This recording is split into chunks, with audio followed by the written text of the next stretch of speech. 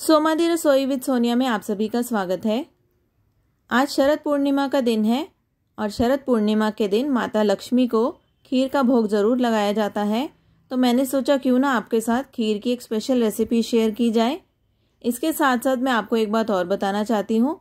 आज शरद पूर्णिमा तो है ही, लेकिन इसके साथ साथ आज रात को चंद्र ग्रहण भी लग रहा है तो अगर आप माता लक्ष्मी के लिए खीर का प्रसाद बनाना चाहते हैं तो दोपहर चार बजे से पहले पहले आप ये प्रसाद बनाकर रख लें, क्योंकि इसके बाद सूतक काल लग जाएगा और सूतक काल में भोग का प्रसाद नहीं बनाया जाता।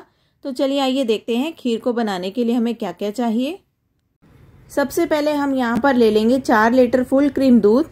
खीर बनाने में फुल क्रीम दूध का ही इस्तेमाल होता है, और अभी इसको मैंने बॉईल नहीं किया है। हम कच्चे दूध से ही खीर बनाएँगे। उसके बाद मैंने यहाँ पर ले लिया है एक कप चावल का। चावल आप कोई सा भी ले सकते हैं।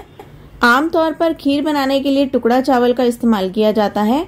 लेकिन अगर आपके पास टुकड़ा चावल ना हो तो आप बासमती चावल से भी खीर बना सकते हैं। तो मैंने यहाँ पर एक कप चावल ले लिया है। अब हम चावल को दो से तीन बार पानी से धो लेंगे। खीर बनाने का मेरा तरीका थोड़ा सा अलग है। आज मैं आपके साथ वही शेयर कर रही हूँ। तो सबसे पहले हम कढ़ाई गैस पे रख देंगे। भारी तले की कढ़ाई लेंगे और गैस को ऑन कर देंगे। दो से तीन मिनट इसको गर्म होने देंगे। उसके बाद हम इसके अंदर डाल देंगे एक गिलास पानी। पानी हल्का सा गुनगुना हो जाए, फिर इसमें हम डाल देंगे चावल। अब इन चावलों को अच्छे से हम मिक्स कर लेंगे और इसमें एक बॉयल आने तक का वेट करेंगे। पाँच मिनट लगेंगे बॉयल होने में। तब तक हम देख लेते हैं, हमें खीर में कौन कौन से ड्राई फ्रूट डालने हैं। मैंने यहाँ पर ले लिया है सूखा नारियल, अखरोट लिए हैं, किशमिश ले ली है। आप अपने टेस्ट के अकॉर्डिंग ड्राई फ्रूट इसमें कम या ज़्यादा कर सकते हैं। और मैंने यहाँ पर कुछ बादाम को रात को भिगो दिया था। अब इनको मैं छील कर बारीक बारीक काट लूँगी, क्योंकि खीर में बादाम भीगे हुए ही अच्छे लगते हैं तो मैंने ये रात को ही भिगो दिए थे। चावलों को जब हम बॉईल करेंगे, हम गैस का फ्लेम हाई रखेंगे तो देखिए, चावलों में अच्छा सा एक बॉयल आ चुका है, चावल गल भी गए हैं। अब देखते हैं हमें आगे क्या करना है। बॉईल किए हुए चावल के अंदर हम दूध को ऐड कर देंगे। दूध डालते वक्त थोड़ा सा ध्यान रखेंगे। जब हम कच्चे दूध से खीर बनाते हैं तो उसका स्वाद दो गुना बढ़ जाता है और इसका टेक्सचर भी बहुत अच्छा आता है। तो अब हम इसको अच्छे से मिक्स कर लेंगे। दूध डलने के कारण चावल नीचे बैठ जाते हैं, इसीलिए हमें इसे एक बारी मिक्स करना होगा। अब हम गैस का फ्लेम बिल्कुल लो कर देंगे। जब तक खीर पक रही है, तब तक हम देख लेते हैं हमें ड्राई फ्रूट को किस तरह काटना है। तो नारियल के तो मैं छोटे छोटे पीस कर लूँगी। आप चाहो तो इसको कद्दूकस करके भी डाल सकते हो।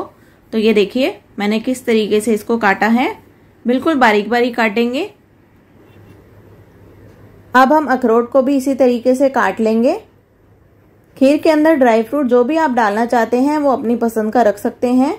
बस जब आप बादाम डालें तो कोशिश यही करिए बादाम को आप रात भर भिगो देंगे और उसके बाद आप खीर के अंदर उसको डालेंगे। तो ये लीजिए, मैंने अखरोट को भी बारीक बारीक काट लिया है। इस तरह से आप भी काट लेंगे। ये देखिए, इस तरह।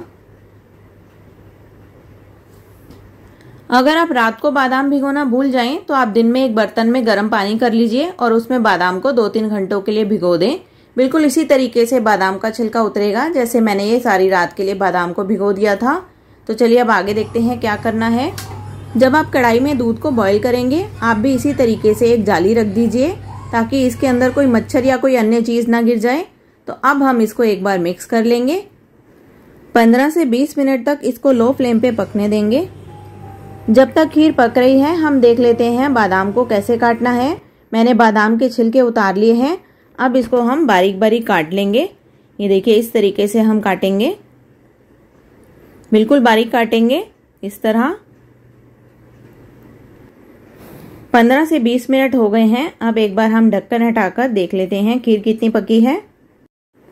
आप देखेंगे, दूध जब बॉईल हो रहा होगा, कढ़ाई के साइड पर, यहाँ पर मलाई इकट्ठी होती जाएगी। आपने उस मलाई को इस तरीके से निकालना है और वापस से दूध में मिक्स करना है। जैसे जैसे दूध में बॉयल आता जाएगा, ये मलाई इकट्ठी होती जाएगी और हमने इसी तरीके से मलाई को निकाल कर दूध में मिक्स करते जाना है। इससे क्या होगा, हमारी जो खीर बनकर तैयार होगी, वो बिल्कुल रबड़ीदार बनेगी। खीर को इसी तरह हमने आधे घंटे के लिए लो फ्लेम पर पकने देना है। जैसे जैसे बॉयल आएगा, आप इसको इसी तरीके से मिक्स करते जाएँगे। इस तरह। देखिए, थोड़ी सी मेहनत ज़रूर है, लेकिन जो खीर बनकर तैयार होगी तो सभी आपकी तारीफ़ करेंगे कि वाह, इस तरह की खीर हमने कभी भी नहीं खाई। ये देखिए, इस तरह से हम मिक्स करेंगे। यहाँ पे देखिए, मलाई फिर से इकट्ठी हो रही है।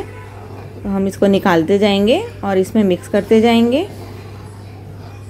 अब हम खीर के अंदर डालेंगे इलायची। खीर के अंदर इलायची का स्वाद बहुत अच्छा लगता है। अगर आपके पास इलायची पाउडर है तो आप उसका भी यूज़ कर सकते हैं। तो ये देखिए, छिलकों को हम साइड पे कर देंगे। और इसके दाने जो हमने पीस लिए हैं, वो खीर में डाल देंगे। इस तरह। और ये जो छिलके बचे हैं, इनका इस्तेमाल आप तब कर सकते हैं जब आप अपने लिए चाय बनाएँ। तो चलिए देखिए, खीर के अंदर एक बॉयल फिर से आ गया है। अब इसको हम अच्छे से मिक्स करते जाएँगे। आधा घंटा हो गया है खीर को पकते हुए। अब इसके अंदर हम ऐड करेंगे चीनी। मैंने यहाँ पर ढाई कप चीनी का इस्तेमाल किया है। अगर आपकी खीर की क्वांटिटी कम है तो आप चीनी को कम या ज़्यादा अपने टेस्ट के अकॉर्डिंग कर सकते हैं। अगर आपने नोटिस किया होगा तो मैंने अभी तक अपनी खीर के अंदर कोई भी कंडेंस मिल्क भी नहीं डाला, अलग से कोई मलाई भी नहीं डाली, और ना ही इसके अंदर कोई खोया डाला है। फिर भी हमारी खीर एकदम रबड़ीदार बनेगी, और इसका टेक्सचर भी मैं आपको बनने के बाद दिखाऊँगी। तो चलिए अभी इसको बनने में थोड़ी सी देर और लगेगी। अब हम खीर को एक जाली से फिर से ढक देंगे। और 15 से 20 मिनट गैस को बिल्कुल सिम करके इसको पकने देंगे। चलिए 15 से 20 मिनट हो चुके हैं। अब हम जाली हटाकर देख लेते हैं खीर पकने में और कितना समय लगेगा।